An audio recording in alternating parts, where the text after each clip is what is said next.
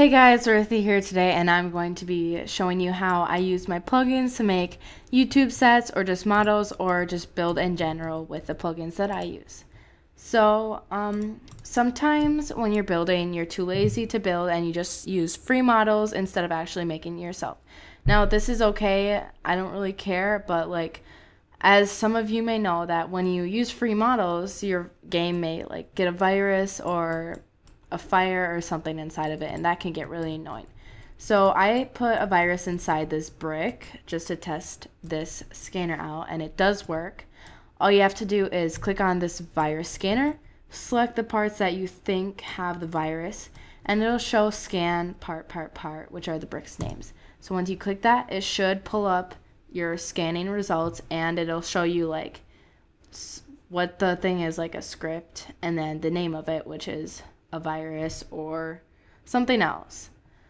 So then what you can do is mark or unmark this and it will just be highlighted red. And if there are more than one, which that can occur, you just click mark all and it'll turn red when once it's selected. Then you close that and go over to remover and you remove the virus or whatever it is.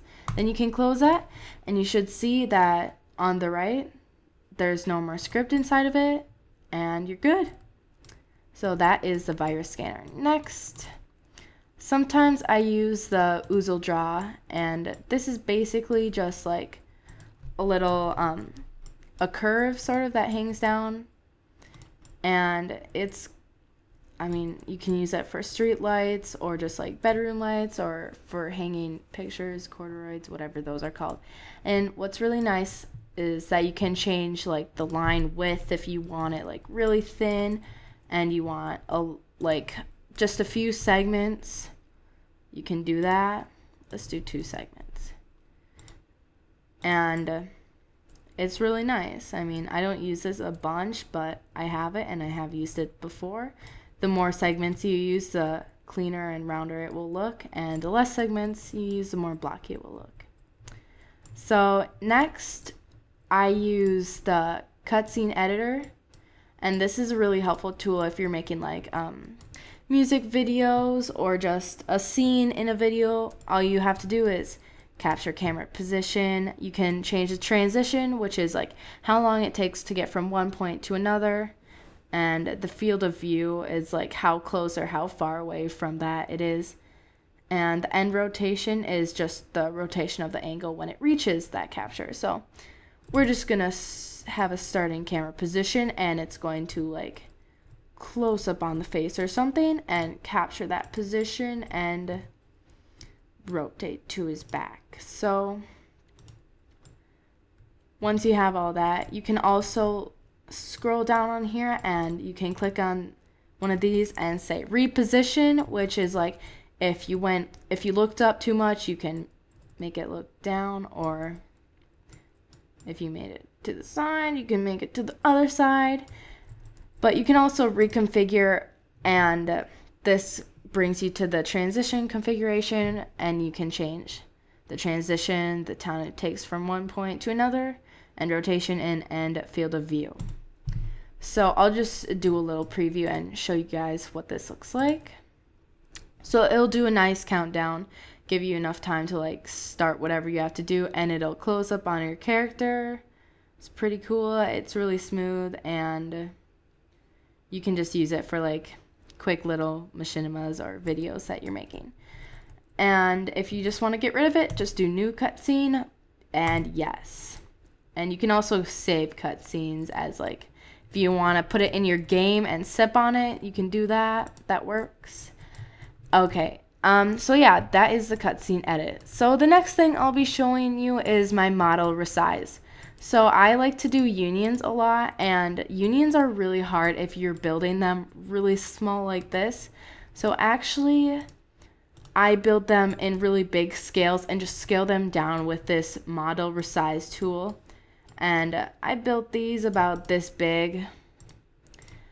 And it's really nice because is super easy to build with when it's bigger and then you can just select the model resize, toggle the handles and Um, you can also do toggle guy and you can change like show the handles, which I have on, and it'll just show you like every individual step, like one, two, three, blah, blah, blah. And yeah. And then you can toggle guy and then you can do the percent bar like 50% and it'll make it 50 times smaller half. And so yeah, that's my model resize. I use that mostly for unions, not really for other things, but occasionally I do. And the next thing I'm going to show you is a reflect. I use this pretty often when I have to just like reflect something. And um, so you'll choose the reflect tool or first click your model, then the reflect tool. Then it'll say select a plane to reflect over by clicking a part's face.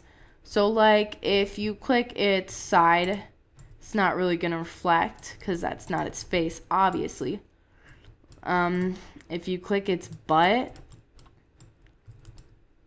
and you have to like reposition this thing.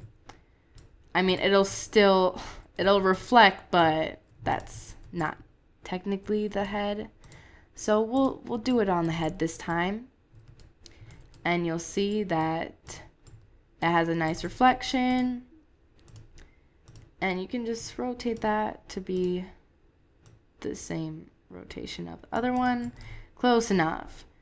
And yeah, I use that mostly when I'm building like animals or something or other. And yeah.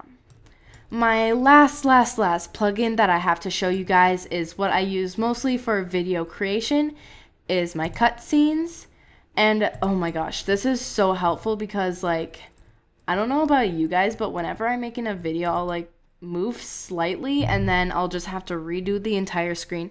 So this is really helpful. All you have to do is create a shot for use and you'll see it makes a little one button.